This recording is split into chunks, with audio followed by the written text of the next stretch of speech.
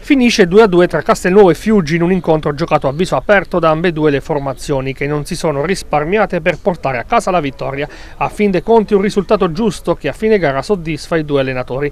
Tre padroni di casa assente Fagioli al suo posto sbarbati così in panchina si accomoda Foglia per far spazio all'Under Olivi. Per il resto confermata la formazione che ha battuto il Giulianova sette giorni fa.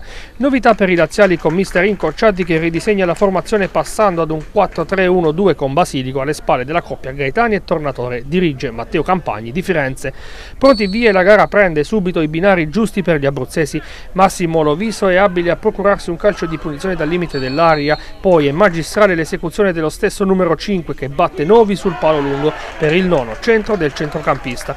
Un minuto dopo i neroverdi recriminano per un fallo di mano di Morconi in area di rigore ma Campagni dice di no ma il vantaggio locale dura 7 minuti quando una conclusione dalla distanza di Basilico viene respinta da Natale, la difesa nero-verde un po' in ritardo, così il più veloce di tutti ad arrivare sulla sfera è Gaetani che ristabilisce la parità.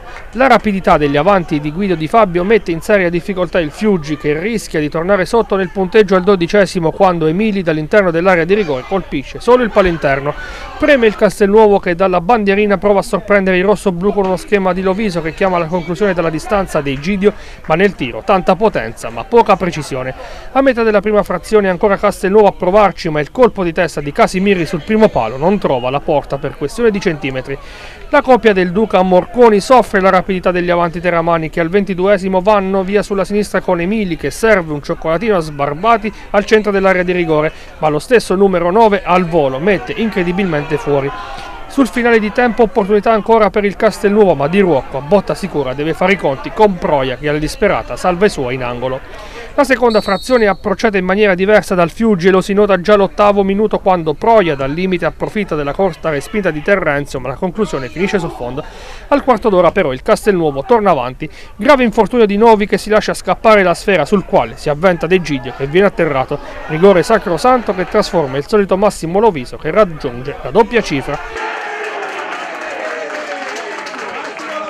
Al 25 Loviso ha anche l'opportunità di portarsi a casa il pallone, ma sulla punizione calciata da 25 metri questa volta è bravo Novi a sventare con la punta delle dita in angolo.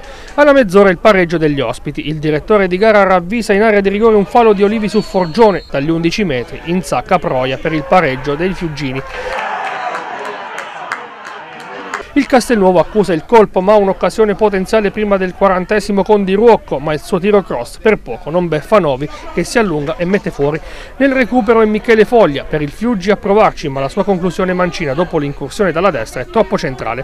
Con questo pareggio il Castelnuovo non riesce a mantenere la vetta della classifica scavalcato dal campo basso e mercoledì nel turno infrasettimanale, primo stop forzato causa Covid della stagione, mentre il Fiuggi ospiterà il Matese. Mister Di Fabio, a fine gara l'abbiamo vista eh, passeggiare un po' eh, all'interno del rettangolo verde, stava ripensando amaramente a quell'occasione regalata sul fallo da rigore. No, eh, l'occasione non l'abbiamo regalata perché i ragazzi mi dicono che non, non è successo niente in aria, però eh, è andata così, l'arbitro ha visto così e c'è da, da, accettare tutto. Poi passeggiavo in campo perché eh, San Severino aveva perso il GPS quindi sono andato a ritrovarlo, non, non ero assolutamente pensieroso. Ecco, che partita ha visto? Una partita, un 2-2 alla fine possiamo dire anche corretto tra due squadre che hanno giocato a viso aperto, forse abbiamo assistito anche a una delle partite più belle finora in questo campionato. Sì, sì, indubbiamente è stata una bella partita, mi sono divertito anch'io perché eh, il Fiuggi è una buona squadra, lo sapevamo, è una squadra che prova sempre a giocare a calcio da dietro e questo naturalmente permette no, di, eh, in caso di, di, qualche errore di passaggio delle ripartenze importanti, forse l'unica pecca è stata questa da parte nostra che tutte le occasioni che abbiamo avuto per, per ripartire, per andare a fargli male, magari siamo stati poco lucidi nell'ultimo passaggio poco lucidi nella conclusione, però eh, abbiamo avuto le nostre occasioni per vincere la partita, sono stati bravi loro a crederci fino alla fine un risultato anche giusto, però mm, niente, quello che mm, rimane è un'altra grande e bella prestazione della mia squadra e sono contento di questo perché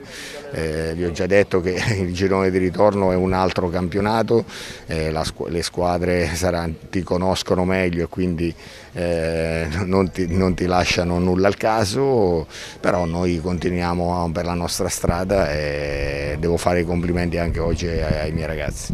Noi in questo campionato ancora regaliamo molto agli avversari, questo è chiara, chiaramente riconducibile un po' all'immaturità delle letture che noi stiamo cercando di migliorare. Abbiamo, abbiamo un parco giocatori che ci consente di lavorare con dei criteri e quindi siamo diciamo, contenti anche così perché io sono, sono soddisfatto di una squadra che, che è venuta diciamo, nella, nella, prima de, eh, de, della classe imponendo il gioco e non avendo timore di nulla, eh, dimostrando di essere anche su un binario buono di interpretazione di questo gioco, quindi è quello che mi soddisfa.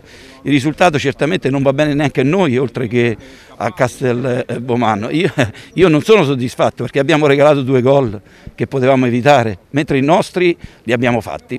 Stiamo lavorando e producendo quello che secondo me è importante produrre in questa categoria. Non abbiamo ambizione di vincere il campionato eh, io personalmente no.